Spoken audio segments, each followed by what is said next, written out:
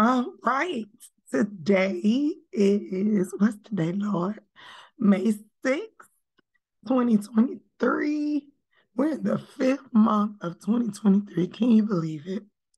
Anyway, we're to, of course, open up with prayer.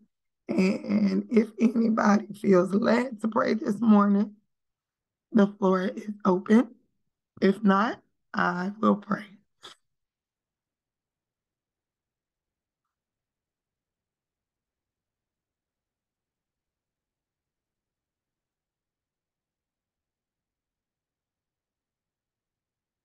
All right, let's go to God in prayer. Father God, we just thank you, Lord. Thank you, thank you, thank you. You are so good. You are so awesome. You are the creator of the universe. You are amazing, God. And so we just thank you. We thank you, Lord, that you touched us this morning and let us see this day, God. We thank you, God, that you've kept us, you've kept our families, our loved ones, oh God, our nation, our world. We know everything happens by your allowance and by your purpose and will. So thank you, Lord. Thank you that your plans are to prosper us and do us good. Thank you that you're the best place for us, oh God. Thank you that you are consistent. Thank you that you are intentional. Thank you, oh God, for just being God, for being Yahweh, for being the I am that I am, oh God. God, as we come to this time of coming together and reading your word and understanding, oh God, have your way. Have your way in this time, oh God. Let our ears hear what the Spirit is speaking. Let our hearts conceive and understand, oh God. Let our minds understand, oh God. We thank you, Lord. We bless you. Whatever we take from this time, God, let us share it. Let us be disciples of you, God, and love on others, sharing the things we've learned from you with them, oh God. In Jesus' name we pray and give thanks. Amen and amen. I'm moving too fast. All right. Our opening scripture comes from Habakkuk chapter 2, verse 4, the New King James Version. And it reads, Behold the proud. His soul is not upright in him, but the just, just, excuse me, shall live by faith. Thank you, Lord. All right. Today is our first meeting of May, and our next meeting will be the third Saturday, which is May 20th. Um, please, please, please, when you get the links, please share them. We're not a clique, we're not a closed off group. We definitely want to share what God is teaching us, what we're learning with others. The reminder at the bottom says the point of this group is for us to be united in prayer about the topics and scriptures that we discussed. Excuse me, yeah, we discussed. So we're going to jump right in with our thoughtful expression. So, of course, please don't be shy. This is time for you to chime in, to give some thought, some consideration for our question, and to share your thoughts. Amen. So, our question says, as believers, why is suffering a vital part of our faith walk? Why is suffering a vital part of our faith walk? Um, and before anybody jumps in, I'm going to throw this part in.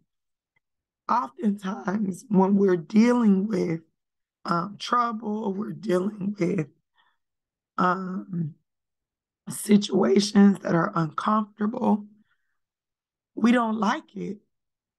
You know, it is unraveling, I guess, for us. It's not a fun situation for us. But suffering is necessary. We know that Jesus suffered, right? And his suffering, the intent and the purpose behind him going through was for him to save the world. So, why is it important for us, faith walkers, believers, to endure or to experience suffering? All right, the floor is open. Cool. Good morning. Um, hey, hey. It's Michelle. Sorry. Um, I think um, it's right in the sentence. Um, we suffer so that we can grow our faith in God, so that He can okay. stretch our faith, um, so that we can be more dependent on Him and not relying on us. So release, relinquishing that control. Um, and I've said this often: we are born into this world um, and from day one, we are always um, being taught how to be independent. We should be mm-hmm. independent. We should learn. We should do this, and we should become independent women. Um, but that's opposite from what God teaches us. God wants us to be dependent on Him. So um, this suffering allows us to, you know, increase our faith and trust Him more, knowing that um, things will work out for our good, and um, we have to grow in order to grow, we need to suffer. Um, and it's all in the word, learning his character, learning who he is as God, and just being able to have um, a more of a spiritual walk, a better relationship with him. All those things are gained within our suffering. Amen. Thank you, Shelly. Yes. Yes, yes, yes, yes, yes. I agree suffering definitely is necessary to build our faith. And um, you know how the Bible speaks of being a babe in Christ, you know, still being on milk or on the breasts, but we got to mature in God. I believe suffering definitely does that, levels us up in the walk so that we're not just surface level Christians. We haven't just received Christ and now, okay, we know we're going to heaven and that's the end of it. No, there are deeper levels. There's that ocean deep relationship God wants. And there are purposes and things God has to draw out of us. And in order to draw those things out of us, we've got to endure. We've got to um, experience our faith being what we hold on to throughout our trouble, throughout our suffering. Thank you, Shelly. Anybody else before we move to the lesson?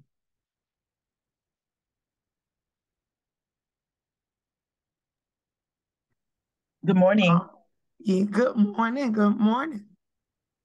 Um, so as I was listening to Shelly, I was thinking um, a perfect example of what she was explaining is in the Bible um, when Rachel, I believe it was Rachel, um, one of Jacob's wives, not Rachel and Leah. And Leah, of course, was the unloved wife of Jacob. Um, and she, for years, thought that having babies from him would make him love her. Right. She kept seeking his affection, seeking his love through her children, thinking that surely because I've given him a son, he will love me. Mm. And that never happened. Um, but when she decided to stop seeking him for the love mm. and seek God, and so then when her last child came, she dedicated that child to God and not to Jacob. And when she did that, God was able to turn her heart. So Ray, J- Leah never left Jacob. She continued to stay married to him because, of course, they don't believe in divorce. So she um, stayed married to him for years, but not receiving that love. But God rewarded her because her children were the line, was the lineage of Jesus and hmm. not, you know, Rachel's. Yes, and not Rachel's. So he rewarded her for sticking out through the suffering, mm. sticking it out, um, accepting the fact that because it, it, wasn't her fault, it had mm-hmm. nothing to do mm-hmm. with her, mm-hmm. but she had to accept the fact that it wasn't your fault. However, you're in this suffering and and hold on to that because I'll reward you in the end. It may not be in this lifetime, and I'm sure she had some good days. It wasn't all bad. Um, however, she she endured her mm. suffering. Mm. Mm. Thank you, Ms. I'm sorry, I just wanted to jump back in. That was so good because wasn't it? because I'm just thinking like through your suffering, will you will you trust me? Yeah. Will you me? Will you do what you're supposed to do? Yeah. Through that mm. suffering. Yeah. Mm. And, and, and then for that, I will reward you double for your trouble, just mm. like Job. Yes. And so yes. I'm just thinking about all those stories in the Bible. Um, mm. Call on me through your suffering, praise me during your suffering, yes. acknowledge me during your suffering. I think all yes. of those are key points. Trust that I'm going to even sustain you right throughout the the trouble the suffering the uncomfortableness that's good miss billings you're so full of the word i love it yes come on leah lineage was that of jesus so as you said too miss billings she might not have saw the fullness of her faith throughout the suffering but you know, like you said, her children. Thank you, God. Oh, thank you, Lord. Through her children, right? They received the blessing because of her faith. She turned from looking to her husband to look into God. Thank you, Lord. Anybody else? That was good, Miss Billings. Thank you. Oh, thank you, God. Did I hear Mike? I don't want to leave nobody out before I move. Yes, good morning. Good morning. I just wanted to add um, I used to think of uh, fasting as suffering. Mm. And um, it's just amazing as you go through different seasons of your life how you begin to see things very differently or you learn different lessons from what you thought uh, you were learning about one thing or one specific Bible story or one specific scripture it always seems to have a new look or a new message for you when you start to grow.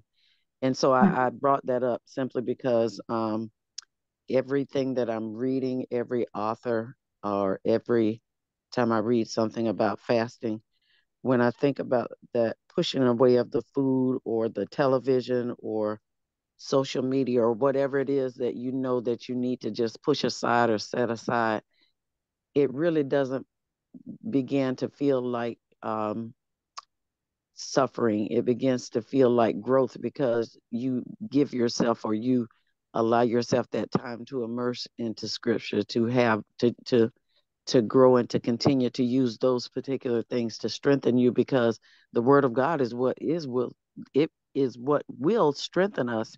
So when we delve into that, you it no longer becomes a struggle or something that you think you're giving up, you mm. begin to become so much stronger that you think, oh my gosh, this is this is what I this is where I need to be, or this is not what I thought it was going to be. Yes, it's going to be hard.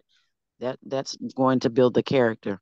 But mm. I think that the the strength comes when you um, see that what you have run from or what you have pushed aside was nothing like what you thought the struggle would be or the suffering would be.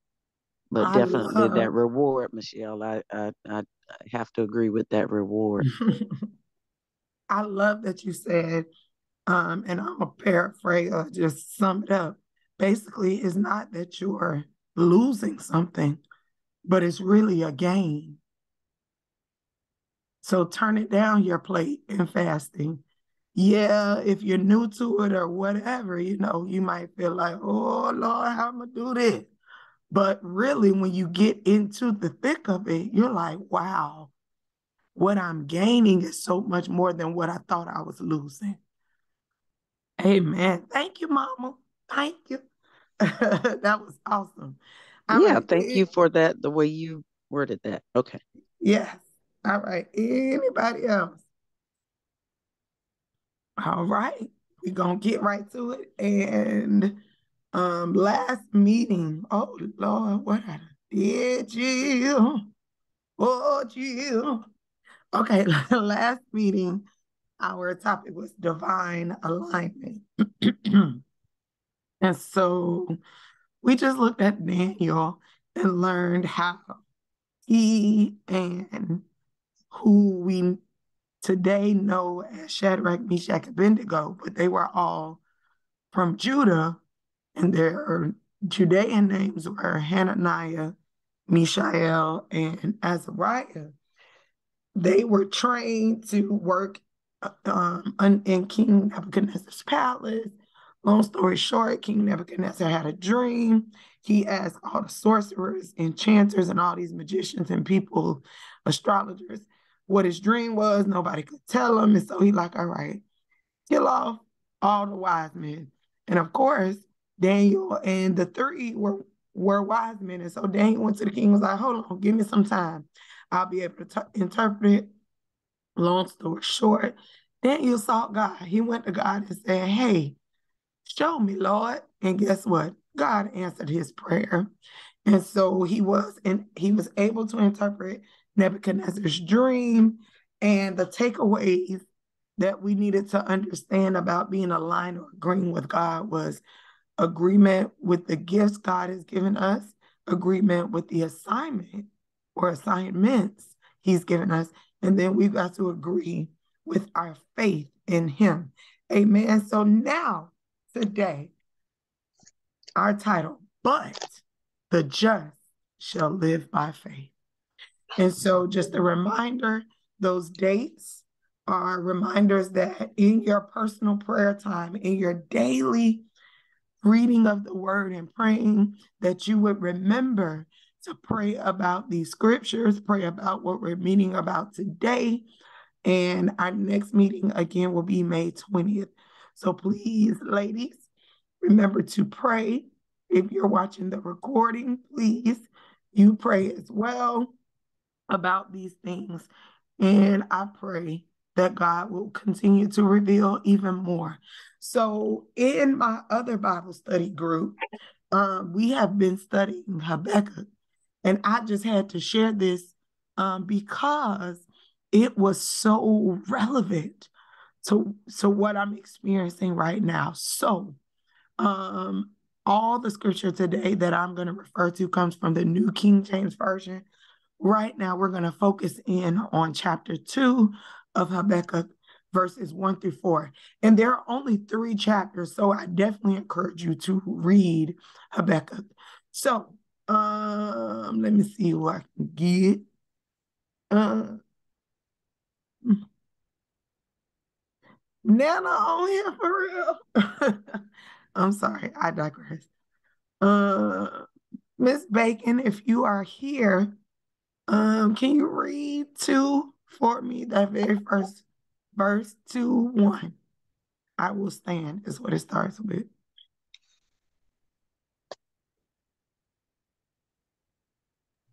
Sure. Good morning. Okay. Good morning. Sorry, I know you're probably getting ready, but I just called uh, them. Chapter, I mean, verse two. Yeah, well, the very first sentence. It's, it's stand, chapter okay. two, verse one. Um, I, I will stand my watch and set myself on a rampart and watch to see what he will say to me and what I will answer when I'm corrected. Okay, right there. Thank you, thank you. So um, I highlighted rampart because that stuck out to me. And when I looked it up, it was something unpleasant or unwelcome going unchecked, right? So um, Habakkuk um, questioned God, and if you read chapter one, you'll see he asked God specific questions. And God answered him. And so here he's saying, So I'm going to watch. I'm going to stand and I'm going to look and I'm going to set my attention on this um, judgment that Judah is receiving, right? And this judgment, of course, was happening at the hands of the Babylonians. And who was the king of the Babylonians at the time? Nebuchadnezzar. So he's like, okay, I'm about to sit and watch. I'm gonna look. I'm gonna pay attention, and then I'm gonna watch to see what will what the Lord will say to me, and what I will answer when He corrects me. Right. So then, verse two says, "Then the Lord answered me and said, Write the vision and make it plain on tablet, that he may run who reads it." Verse three, for the vision is yet for an appointed time but at the end, it will speak and it will not lie. Though it tarries, meaning though it takes some time, wait for it because it will surely come. It will not tarry. So I believe the Lord was referring to this judgment that he was bringing on Judah. Judah had been worshiping idols. Judah had been doing unpleasing, displeasing things in the sight of God. And so he brought judgment on them through Babylon, right? They came and conquered them, took over, um, tortured and killed the king, and just did a lot of things. And so God, the Lord was saying to Habakkuk, write it down, write the vision I've given you, make it plain. So when they'll read it, they'll run, right? And there's an appointed time that this judgment on Judah is going to come. And exactly what I said I'm going to do, it's going to happen. It's going to take a little while. Wait for it because it's going to happen. Because what I say, I'm the Lord. And what I say is going to come to pass. Verse 4 Behold the proud, his soul is not upright, but the just shall live by faith, by his faith. Habakkuk, um, just to give you a little background on one of him, he was one of Judah's prophets. He was from Judah, and his name means one who embraces. So when we get when we got to chapter two, after he questioned God and God gave and the Lord gave him his answer, then he had more questions. Then the Lord answered him again he began to realize, you know what? Let me look, let me pay attention, let me watch. And then the Lord told him, hey, write this vision down,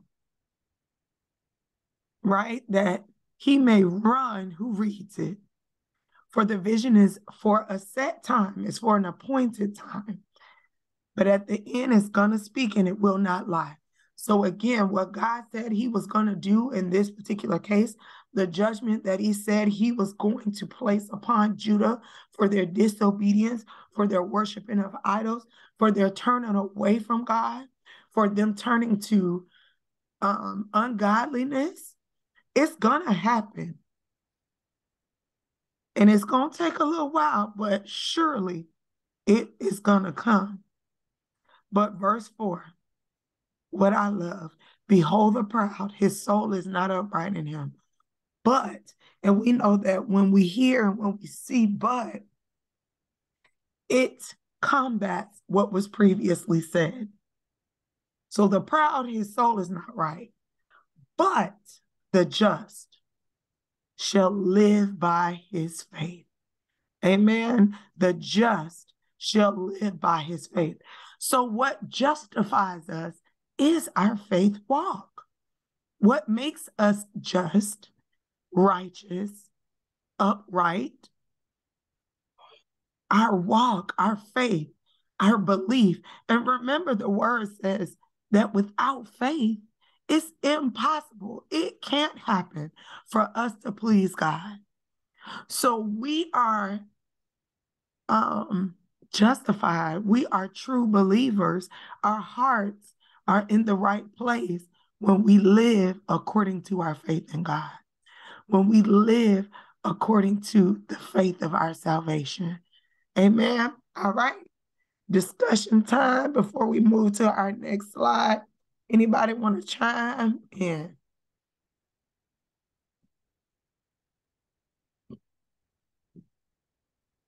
All righty. We're going to move. So then we look at Habakkuk chapter 3, verses 17 through 19. 17 through 19. Uh, Mama, you mind reading verses 17 through 19 for me? Okay, of course, I just took my glasses off. and they're not the real glasses, they're readers. That's why I'm not trying to keep them on too long. Okay. But I think I can. You said which verse? The very first, that um, yellow highlighted, that very, those first three verses up under. Okay. Though the fig tree may not blossom, nor fruit be on the vine, though the labor of the olive may fail. Oh, yeah. Uh, this is, I'm struggling. Okay, I got it. I got it. No Maria, problem. no, Maria Parker, you got it. um, wait a minute. Let me see. Can you hear me? Yes, we yes, can hear you. We can hear you. Good morning. Okay. Um, through it says, though the fig tree may not blossom, nor fruit be on the vines, though the labor of the olive may fail, and the fields ye- yield no food, though the flock may be cut off from the fold, and there be no herd in the stalls, yet I will rejoice in the Lord. I will joy in the God of my salvation. The Lord God is my strength. He will make my feet like deer's feet, and he will make me walk on my high heels. Yes. Thank you, thank you, thank you for the teamwork. So you, you know, I, I have uh, older eyes too, so I had to blow it up. But that's a very powerful word, right? Yes, it is. Yes, it is. So, what Habakkuk was saying here, through all of this, um, you know, destruction, judgment that God was bringing on Judah, the the fig tree not gonna blossom, the fruit on the vine is not there. The labor of the olive may fail. The fields, there's no food growing in the fields. Um, the flock is cut off from the fold. There are no herd in the stalls. All of this desolation and all this as a result of the judgment.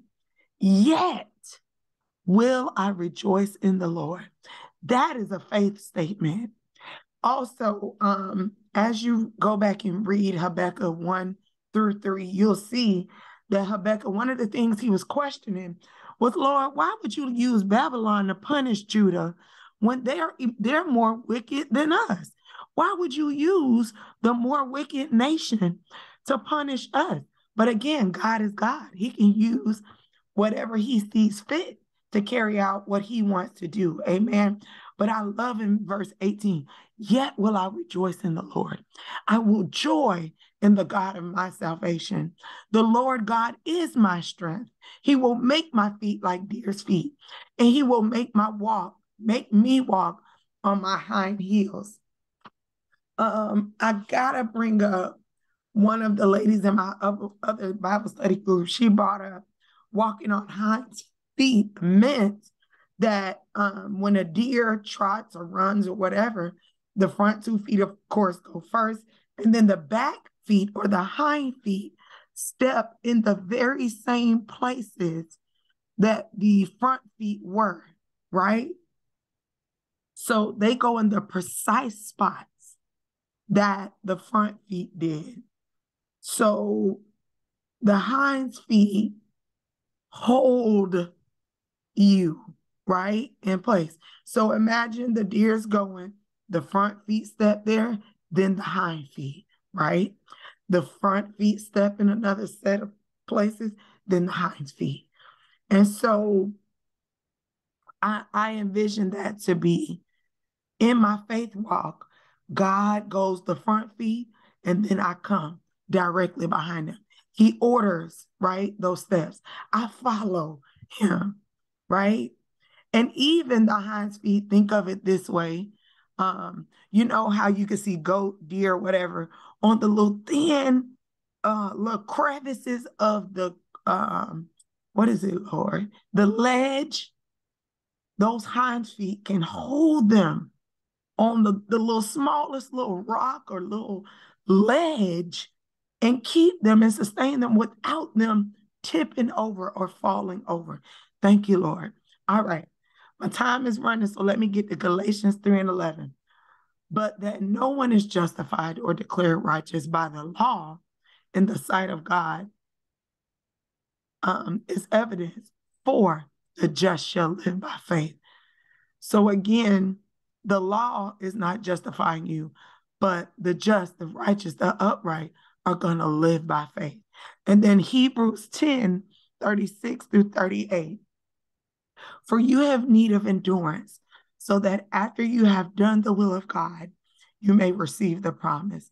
For yet a little while, and he who is coming will come and not tarry. That's Jesus. Now, the just shall live by faith. But if anyone draws back, my soul has no pleasure in him. But we are not of those who draw back. So we are the just. We do live by faith. Amen. All right. Anybody want to? I think I heard somebody, but that was an accident. Um, but I would like to say something about faith, the relationship between faith and and time.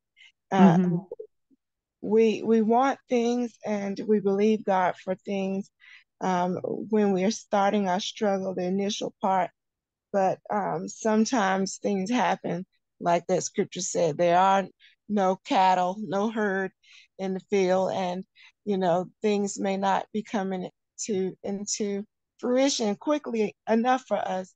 And when that happens, um, it's that endurance, that hanging on, that continual um, belief that God has it in His own time. Mm-hmm. We, I, I feel for me, I know He can do all things. I've seen Him do many things, but that endurance, that that hanging on in the midst of uh, not seeing it happen right now um, mm. it's, it's the struggle because I have, I feel like I have right now problems and I need a right now solution. But right. God is in control and his time and his ways are better than my time and my ways, are better than my thoughts.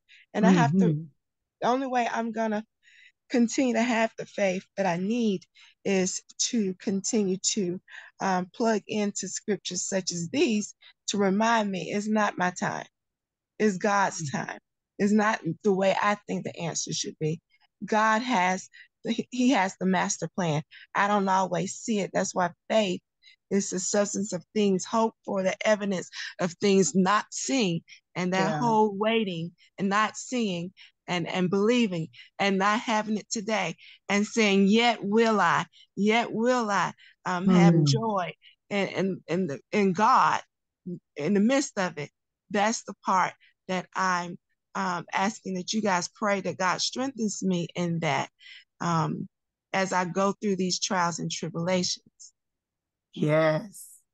Yes. Thank you. I love that you brought up waiting um, because as you were talking, it made it made me think of waiting and trusting God also produces those the fruit of the spirit because mm-hmm. patience is one of them. Amen. Long suffering, right? So Amen. to be built up to even produce or show the fruit of the spirit, we've got to wait. We've got to not try to put God in our box but we've got to trust him. And I love that word yet. Yet will I rejoice in the Lord. Mm-hmm. I will joy in God. All right. Anybody else? I, we got three want, minutes. Come on. Come I, on. I do. I just wanted to say that this reminds me of Isaiah 60 22.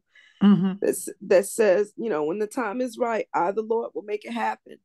And so um, I just I just realized that you know when your faith when you're going through something you you you have to have the faith that God is going to do what he said he's going to do whether it's what you want it to be because mm. God is all knowing and what God does is what's best for us. Yeah. Um, and sometimes that's hard for mm-hmm. us to to understand that, but in the end you realize that God created us. Who are we to doubt our creator? Come you know? on. And so I just I just thank God for um, a faith because yes. you know it's impossible to please God when you don't have faith. Mm. Yes, yes. Thank you. Yeah. So glad you came on. but yes. coupled with that and what the other young lady said prior to, going mm-hmm. back to your first question, that's why suffering is important. Suffering mm. a part of the natural cycle, I believe, of Christendom or mm. being a Christian. You got to suffer so you can have the faith, so you can have the patience, and so you can wait to buckle us up and make us endure. It brings mm. us closer, as someone said earlier, but it's necessary. It's not a bad thing like we've been led to believe. It's mm. like when you um, have a cut and the cut has to heal. Usually it hurts. Mm. But then the scab comes on, the scab falls off, it's healed. So I think it's a necessary, going back to your first question, it's a necessary part, but it ties in everything that everybody said. Beautiful. I love the analogy of the cut. it's going to take time and it hurts, but it's healing. Thank you, Lord. Thank you, God. Y'all, y'all, y'all, y'all don't know how y'all bless me. My goodness, my Lord. All right. So, um, as we've done in the past, time is definitely running out, but it's all good. Remember to take care of those physical bodies just as we're building our spirits. Get your stretches in, eat your healthy meals, drink plenty of water.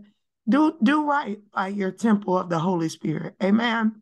Um, prayer time, I don't want to cut it and the thing cuts and all of that. So I'm going to encourage you as soon as we close out, please, please, please, please go ahead and pray. Amen. Thank y'all. This was beautiful. I thank God that He continues to just work through this group. Thank y'all for sharing out. And remember that the just live by faith. I love y'all, and that's it for today. See y'all next meeting.